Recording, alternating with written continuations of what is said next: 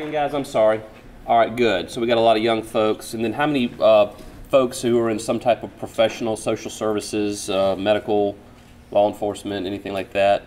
And, and, and, and which group am I missing? I'm trying to understand my audience here. Um, Education. education, awesome, because that's the word I want to I want to lead off on. Education. Um, I I can do a lot to prosecute bad guys and work with law enforce- enforcement to catch them. But one of my favorite quotes of all time is Benjamin Franklin. Anyone know what I'm going to say? An ounce of prevention is worth more than a pound of cure. Right? And education, education, education. So let me start off by just talking. Um, I'm not going to give you a speech. I'm going to tell you a couple of stories because I think stories are far more interesting than speeches. Uh, how many of you have ever seen the movie Taken? Okay, if you haven't seen Taken, that's your homework assignment. It's a great movie. It's an amazing movie. If you like action movies, if you're a parent, especially a parent of a teenage daughter, it will scare the poop out of you. It is bad. It is scary. But here's the thing Taken illustrates a form of, a form of human trafficking that we all have kind of stereotyped. It is a stereotypical form of human trafficking. There are forms of human trafficking that exist around us right now that are existing in Columbia. South Carolina, in Charleston, in Myrtle Beach, in Greenville, and other areas. Human trafficking, or let's just call it what it is slavery, modern day slavery, is alive and well in our country. Human trafficking is a multi billion dollar industry worldwide. It is the second largest criminal industry, only behind drugs and arm trafficking in the world. Um, it is the uh, fastest growing, which means in a couple of years it will be the largest industry. Y'all know why that is? I'm a drug trafficker and I want to give you drugs. You're going to do what? Give me money, right? Then what do I have to do as a drug trafficker? I got to get more drugs from him and come back to you, right?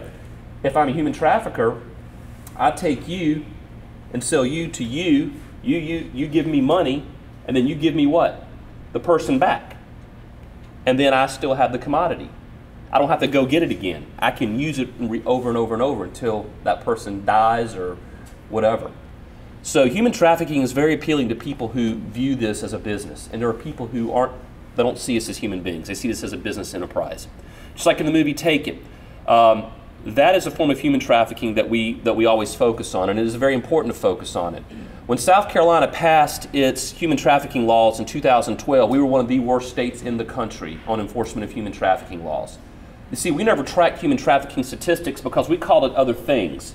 We have statistics on child abuse, prostitution, extortion, um, and, and any number of other crimes that a victim or defendant would have been qualified under for purposes of statistical tracking.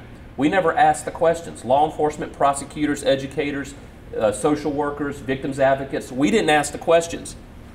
So we passed a law that is totally comprehensive. It is totally comprehensive. It goes to the criminality of it.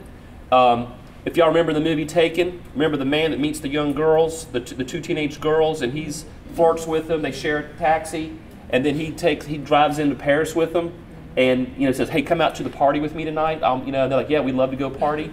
And he watches them go up to their condo, and he makes a phone call.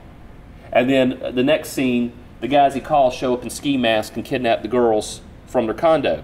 Well, under our former, former laws, that guy would be treated differently uh, uh, for purposes of human trafficking. He might be a co conspirator, but he wouldn't be prosecuted as the principal offender.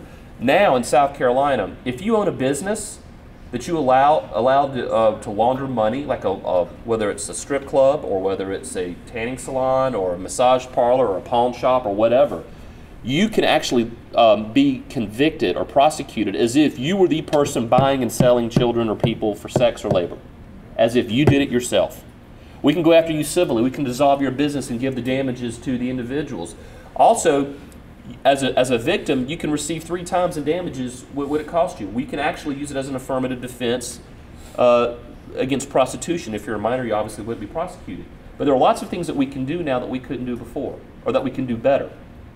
Um, there's a story that illustrates another kind of human trafficking. I heard this about three years ago from a woman named Theresa Flores. She's you Google her, Theresa with the T H E R E S A. Have you heard her story? Theresa Flores. Theresa tells the story. She is a young 15 year old girl in the late 80s.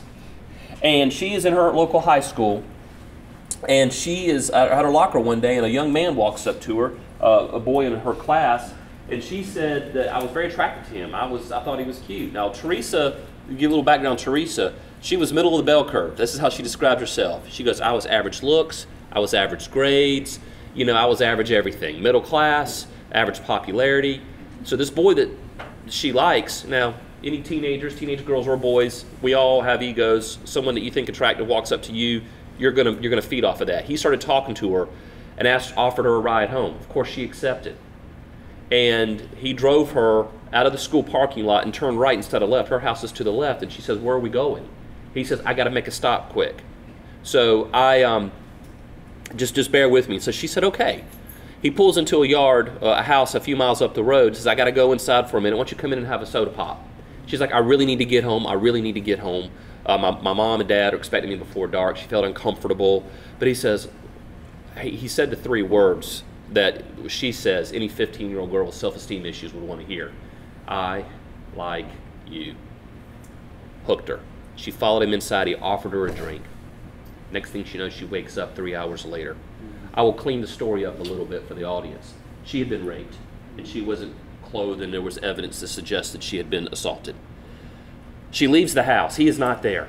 She leaves, she goes home. She doesn't say anything to her mother because, see, she had been conceived prior to wedlock, and she grew up in a very strict, uh, devout Catholic family, and her mom had made a mistake, uh, got pregnant before marriage, and of course told Theresa, "You ever do the deed before marriage, you're out." Now her mother would not have thrown her out. That was what she was saying to scare the girl straight.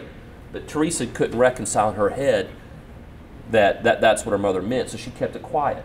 She shows up at school the next day. The boy approaches her at the locker with an envelope of photos, hands it to her. She opens it up, and it's pictures of him and several friends assaulting her as she lay unconscious. He says, We're going to give you a chance to work these off. We're going to call you from time to time, and you're going to do what we say when we say.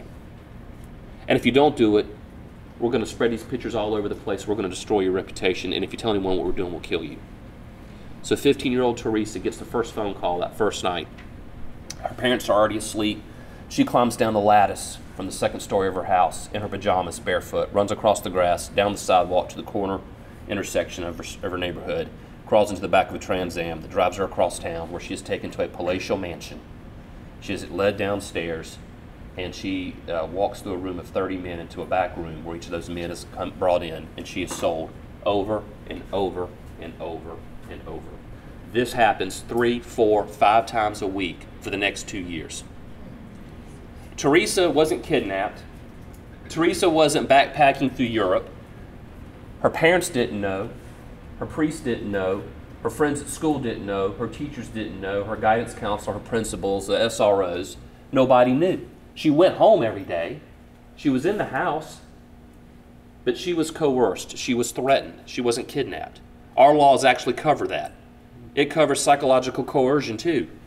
It, it, you don't have to be forced at gunpoint or knife point or taken or held against your will. You can be trafficked without actually being taken, like the movie.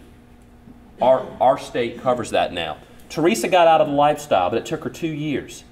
And her, her story of redemption and salvation is another story. But I tell you the first part of her story, because she travels the country now working on educating folks like me and others about how they can make their laws better. And she's married with kids now, so things ended up well for her, and that's another story. But my, sto- my takeaway for you is that this story affected me because it changed the way I saw human trafficking. It can happen anywhere. Do you know that we have active cases going on right now in South Carolina under the new laws? So we are investigating cases right now. And it's not just the sex trade, it's the labor trade. It's labor trafficking is there too. So, um, we have, uh, and I will reserve uh, in for the for the Q and A period. I have two other speakers I think coming up right behind me, so I'm going to step down in just a second. And I have a lot more to say. I just don't have the time to say it. And there are other people here who have stories to tell you that you need to hear. But we have a, a human trafficking state plan that my office has been the pr- principal coordinator on, and I will talk about that. If you want me to, if you want to talk about that, ask me questions about that in the Q and A period. And I also have staff here I want to introduce you to. But remember the most important thing we can do is educate ourselves and not be ignorant to the fact that it is happening. It is not stuff that happens in a movie or happens in a third world country or in a big metropolitan city across the city across the country. It happens in our communities, and it is staring us in the face. Sometimes we just don't even know that it's there.